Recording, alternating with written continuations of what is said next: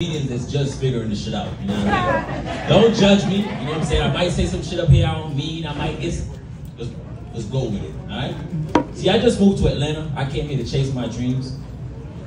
I've been chasing my dreams about three months now, and I quit. Like I give up. Like this, this shit is not working out. I gave it a shot. And it's just you just gotta be honest with yourself.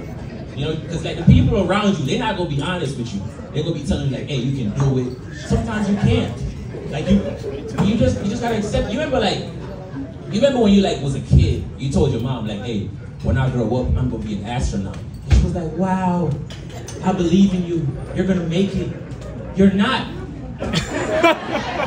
How many astronauts do you know? And I'm like, that's, that's a legit question to everybody in this room. Like, who knows anybody that works at NASA?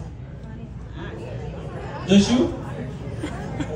You heard of them? Ah, yeah, these. We're not gonna count them. They're at the front. We're not gonna count them. But we all know somebody that work at Walmart. We know at least like 10, 15 niggas from Target. It's different. It's different. Yeah, yeah. So growing up, they told me uh, babies were a blessing. And I used to believe babies would be a blessing until I found out what an abortion was. Ooh. Ooh. There's a lot of women in here. Nobody ever had an abortion.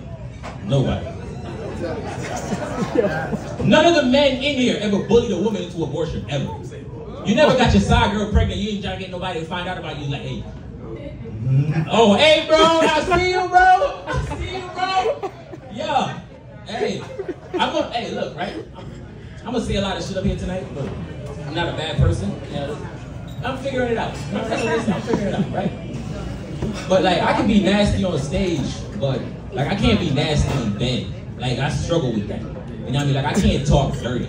You know, I can't talk. I don't know if it's because I like my shit ain't that big, so like I don't really believe in the shit I'm saying. You know, like I say, I don't really have no confidence when I'm saying it. You know what I mean? Like, I feel like you gotta have like a certain size for you to say certain shit. You know, like niggas with big dick, they can say whatever they want because they use the dick as a distraction. You know, they could be like, "Shut the fuck up, you stupid bitch." Who you calling a hoo He just more dick. You like that, don't you? Fucking slut. I'm not no. Maybe I am. Because he just give her more dick. But that shit does not work if you already giving her all the dick you got. hey, it, I promise you. I promise you. And know with me, like I'll fuck around, I'll say some shit that just ruined the whole mood. Like I'll just I'll just fuck everything up. You like it? I know you like it. I know you like this dick, because I like it. that did not come out. No, not like, no, where you going? No. Why you putting your clothes on? I promise I'm not gay. Yeah, you know, figuring it out, figuring it out. See, I just moved to Atlanta. Atlanta is expensive as fuck. Atlanta Atlanta's so expensive, it made me wish I had a vagina. I'd sell it. Yo, having a vagina is the way to go. Like, it's the perfect fucking business. Like, I don't know why females be looking for like love and loyalty. You have a vagina. Use it. Yo, if I had one, y'all could not get me out these streets, bro. I'm, yo, listen, listen. Yo, here's why selling pussy is the perfect business. For one, the vagina cleans itself, so you're never gotta pay for maintenance. You can never run out. And it's open seven days a week, which makes it better than Chick-fil-A. It's the perfect fucking job.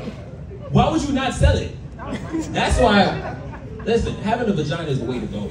That's why so many transgender men in Atlanta. Yo, these niggas are trying to survive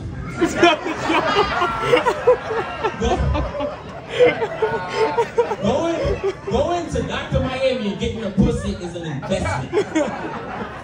Yeah. Trans, right? Like a lot of people say I'm transphobic. I'm not. I just believe in doing shit the right way. You know? Do it right. If you're gonna transition from something, I should not be able to look at you and tell what you used to be. You know? You ever, you ever just been like, you ever see like a woman is walking down the street and you just like, that's a nigga, bro. Ain't no fucking way that's a woman. Look, look at the shoulders, bro. Look at those legs. Look at the dick.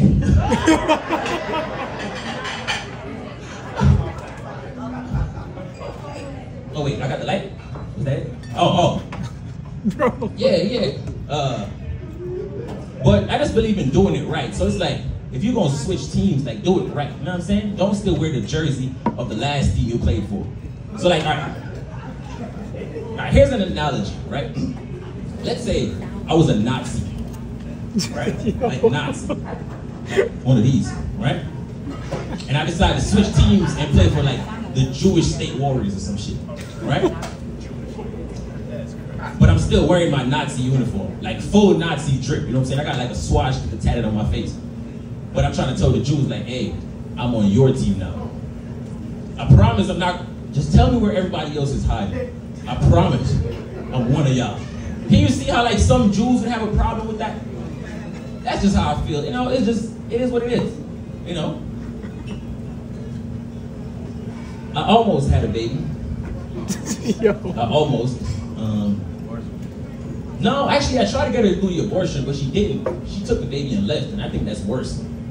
Cause she ain't even give me a chance, bro, to like walk out or kill it. You know? She, she took my chance. Like, I know it's crazy. Like, she set me up, because she told me, like, hey, if I ever get pregnant, I'm gonna get an abortion. This was before we ever had sex, and I'm like, hey, listen, I don't think you should say that out loud, because that makes it premeditated murder, and that's a bigger charge. But since you already plan on doing the dirty work, I might as well go raw type shit. You know what I mean?